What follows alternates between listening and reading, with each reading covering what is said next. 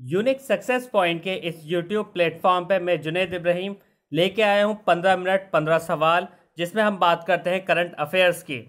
Current affairs में आज सुबह के बज रहे हैं साढ़े, सुबह के छः बज के पंद्रह मिनट हो रहे हैं और आज है इक्कीस तारीख, यानी कि इक्कीस तारीख माह इक्कीस तारीख तीसरा महीना सन दो हज़ार बाईस और ये है सुबह मंडे। मंडे मॉर्निंग में मैं आप सभी का स्वागत करता हूँ। पहला प्रश्न है किस देश के प्रधानमंत्री हाल ही में भारत आए हैं? वैसे तो विदेशी दौरे कम हो रहे हैं, हमारे देश के प्रधानमंत्री भी कम विदेशी दौरे कर पा रहे हैं। लेकिन अभी जो विदेशी दौरे शुरू हुए हैं, उसमें भारत में जो है प्रधानमंत्री आए हुए हैं। अब यहाँ पर एक चीज़ देखिएगा, जापान में प्रधानमंत्री नहीं चुने जाते हैं वहाँ राष्ट्रपति होते हैं। बांग्लादेश के अंदर भी राष्ट्रपति होते हैं। अफ़गानिस्तान में कोई स्थिर सरकार इस वक्त नहीं है। तो ज़ाहिर सी बात है, यहाँ पर सिर्फ़ बचा क्या? सिर्फ़ जापान बचा, ऑप्शन बी जापान इसका सही जवाब है। प्रश्न नंबर दो की तरफ़ चलते हैं। हाल ही में किस देश के मुख्यमंत्री के बेटे ने धोखाधड़ी के आरोप लगा? किस मुख्यमंत्री के बेटे पे धोखाधड़ी का आरोप लगा? नेताओं में धोखाधड़ी के आरोप लगते रहते हैं और ऐसे ही एक आरोप का सामना इस वक्त जो है सरकार कर रही है। कौन सी सरकार कर रही राजस्थान की सरकार कर रही है और राजस्थान के जो मुख्यमंत्री हैं वो हैं अशोक गहलोत। अशोक गहलोत के बेटे के ऊपर जो है धोखाधड़ी का आरोप लगा है इस वक्त। अगला प्रश्न प्रश्न नंबर तीन। किस प्रदेश सरकार ने श्रमिकों के बच्चों की पढ़ाई के लिए अटल आवासीय विद्यालय खोलने का निर्णय लिया है? श्री अटल बिहारी वाजपेयी जो है, हमारे देश के प्रधानमंत्री रह चुके हैं और उनका जो जो उनका कर्म भूमि थी, वो उत्तर प्रदेश का लखनऊ थी। और जब लखनऊ थी तो उत्तर प्रदेश सरकार ने ही जो है अटल आवासीय विद्यालय खोलने का निर्णय लिया है। प्रश्न नंबर तीन की तरफ़ चलते हैं। प्रश्न नंबर तीन, कर्नाटक में हिजाब विवाद पर फैसला सुनाने वाले जजों के, जजों को कौन सी श्रेणी की सुरक्षा प्रदान की गई है? जैसा आप लोग जानते हैं, कई श्रेणियों की सुरक्षा होती है, लेकिन जिनका ज़िक्र होता है, वो तीन श्रेणियों का ज़िक्र ज़्यादा होता है। एक होता है वाई एक होता है जेड और एक होता है जेड प्लस जेड प्लस अति महत्वपूर्ण लोगों को दी जाती है जेड महत्वपूर्ण और वाई भी महत्वपूर्ण लोगों को दी जाती है। तो इन तीनों में से जो है वाई प्लस वाई सुरक्षा जो है वाई श्रेणी की सुरक्षा कर्नाटक के जो हाईकोर्ट के जज हैं तीनों, उन्हें दी गई है। प्रश्न नंबर चार की तरफ़ चलते हैं। प्रश्न नंबर चार के बाद हम सीधे चलते हैं, प्रश्न नंबर पाँच की तरफ़। हाल ही में किस विदेशी कंपनी ने भारत में इलेक्ट्रॉनिक वाहन बनाने के लिए निवेश का ऐलान किया है? जैसे आप लोग जानते हैं कि प्रधानमंत्री जापान के प्रधानमंत्री जो है हिंदुस्तान आए हुए हैं और उसी के बीच में उन्होंने 5.4 मिलियन डॉलर का करार किया है हिंदुस्तान के साथ। इसी करार का एक हिस्सा है। जापान की जो सुजुकी कंपनी है, जापान की सुजुकी कंपनी, उसने यहाँ के इलेक्ट्रॉनिक व्हीकल्स बनाने के लिए जो है इन्वेस्ट करने की जो है हमारे हिंदुस्तान को प्रस्ताव दिया है। अगला प्रश्न है। प्रश्न नंबर छः योगी आदित्यनाथ मुख्यमंत्री की पद की शपथ कब लेंगे? जैसा आप लोग जानते हैं, अभी हाल फ़िलहाल में इलेक्शन होकर निपटे हैं, दस मार्च को नतीजा है। और Yogi point Yogi two point O, यानी कि योगी सरकार का दूसरा कार्यकाल शुरू हो रहा होगा होगा, और वो शुरू होगा 25 मार्च को। के डी बाबू सिंह स्टेडियम है लखनऊ के अंदर। वहाँ पर शाम को चार बजे योगी आदित्यनाथ अपने कैबिनेट और राज्य मंत्रियों के साथ शपथ लेते हुए नज़र आएँगे। अब है प्रश्न नंबर सात, बहुत ही छोटा प्रश्न है। आसानी क्या है? आसनी क्या है? बेसिकली आसनी।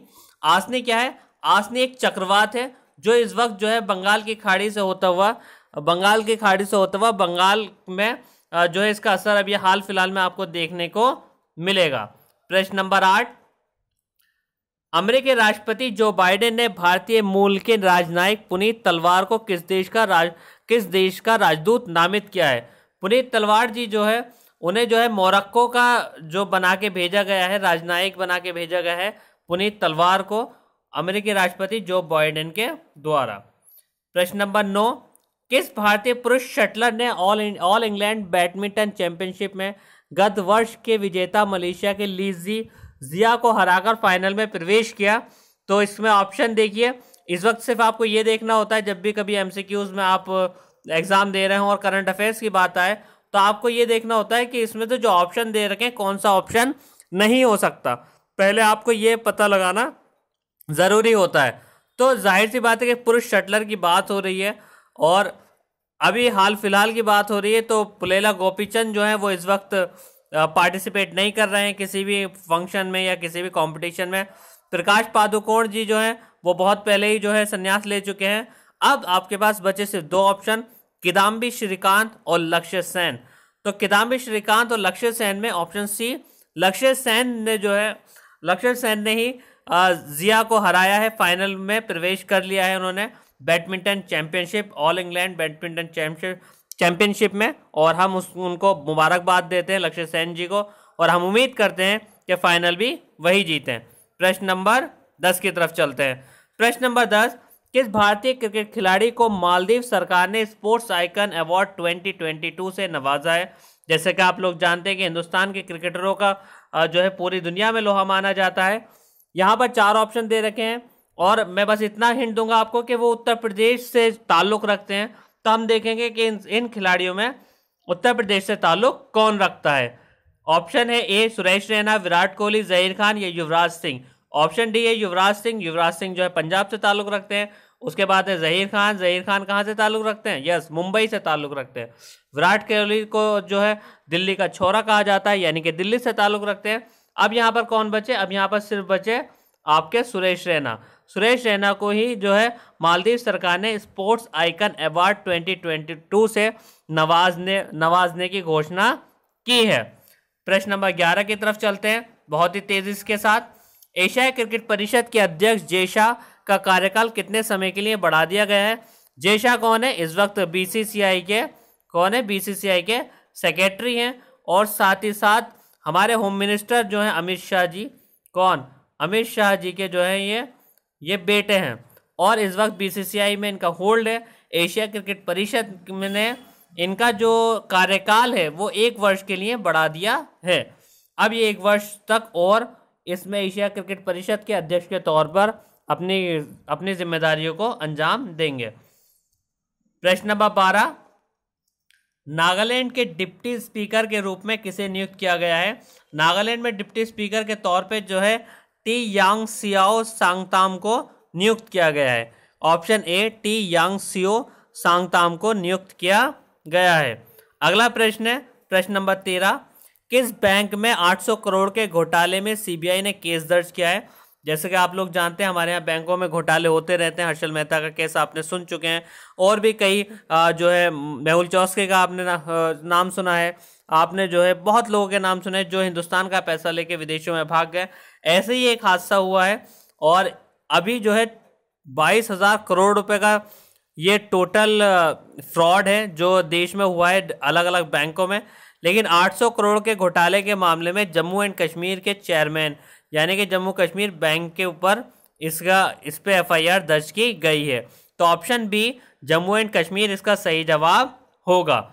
अगला प्रश्न की तरफ़ चलते हैं। नेक्स्ट है प्रश्न नंबर चौदह। क्वेश्चन नंबर फोर्टीन है। हाल ही में शाहबुद्दीन अहमद का निधन हुआ। वे किस देश के राष्ट्रपति रह चुके हैं? तो शाहबुद्दीन अहमद जो हैं, बांग्लादेश के राष्ट्रपति रह चुके हैं। कहाँ के राष्ट्रपति रह चुके हैं? बांग्लादेश के राष्ट्रपति रह चुके हैं। शाहबुद्दीन अहमद और उनका अभी हाल फ़िलहाल में ही निधन हुआ है। आखिरी प्रश्न आज के दिन का, प्रश्न नंबर पंद्रह, Indira Gandhi national open university में सत्र 2022 के लिए दाखिले की अंतिम तिथि क्या है? जैसा कि आप सभी लोग जानते हैं, Indira Gandhi national open university जो है वो हिंदुस्तान की प्रतिष्ठित यूनिवर्सिटी है और यहाँ पर जो है पढ़, पढ़ाई करने वाले बच्चे ज़्यादातर ऑफ़िस में जो जॉब कर रहे होते हैं वो लोग इसके अंदर रहते हैं। तो इसका ऑप्शन इसके अंदर दे रखे हैं आपने। ऑप्शन देखिए 26 मार्च 25 मार्च 26 मार्च 24 मार्च और 23 मार्च। तो इसका जो सही उत्तर है, वो कौन सा उत्तर होगा? कौन सा उत्तर होगा वो जो सही उत्तर है? वो होगा आपका 25 मार्च option A 25 March option A इसी के साथ आज के 15 मिनट 15 सवाल का ये सेशन पूरा होता है। जिन लोगों ने अभी तक इस सेशन को लाइक नहीं किया है, जिन लोगों ने इस सेशन को शेयर नहीं किया है, वो एक बार इस सेशन को शेयर ज़रूर कर दें लाइक और सब्सक्राइब ज़रूर करें और हमारे साथ बने रहें। कल हम फिर इसी वक्त, इसी समय पर हाजिर होंगे। मैं जुनेद इब्राहिम आपसे इसी के साथ विदा लेता हूँ। बहुत बहुत शुक्रिया आप सभी लोगों का।